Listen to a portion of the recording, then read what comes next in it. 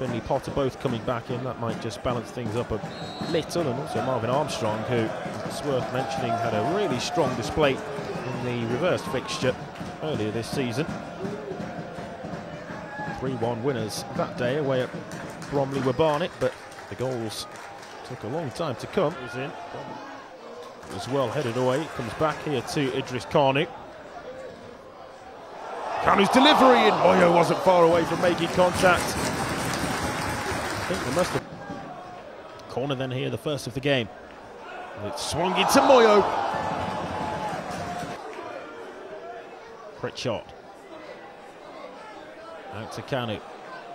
1v1 against the Bromley defender. Kanu will go for goal and once again for Barnet. Again, it's a similar sort of delivery. That time it was met by Winter. He lines this one up at the moment. It is Stirk who takes. It's hung up well, and the captain was on the end of it.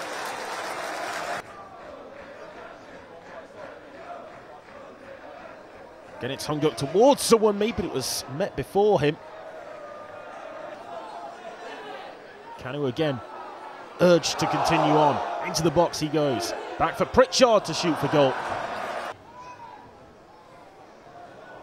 Topolodge played that one forward, and there's Cheek. Nearly right on cue. It's incredible, really. The number of games, the amount of playing time that Akimo has had. Here on the end of it is Pritchard. Is there going to be a breakthrough goal before half time? It's swung into the near post, it's still in there, and there's the goal. Finley Potter with the final touch.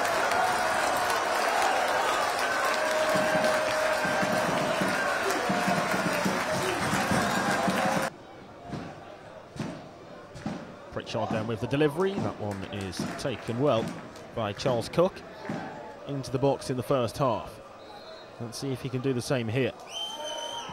Plenty of teammates to aim for in the centre, but it's too close to Walker. It breaks away from Walker, though. It's still there, and it's in. 1-1. It could well have been Michael Cheek with the final touch.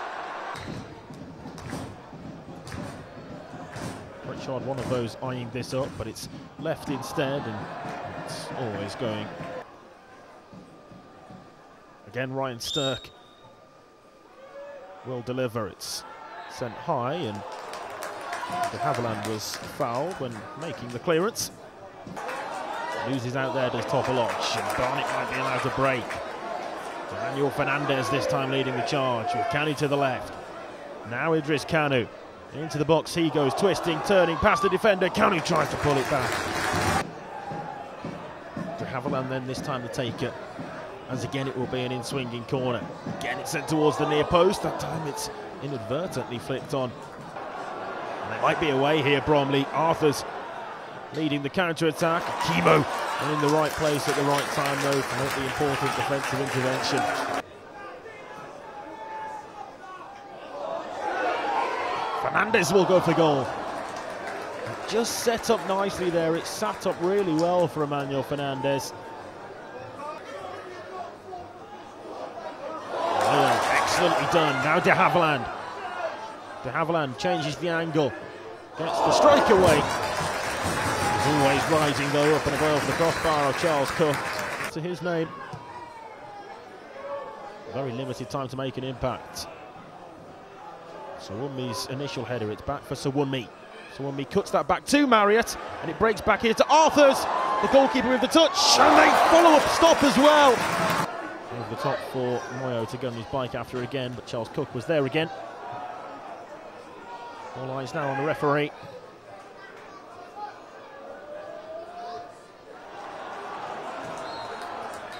The referee says there's no time for the throw-in to be taken. Brings to its conclusion.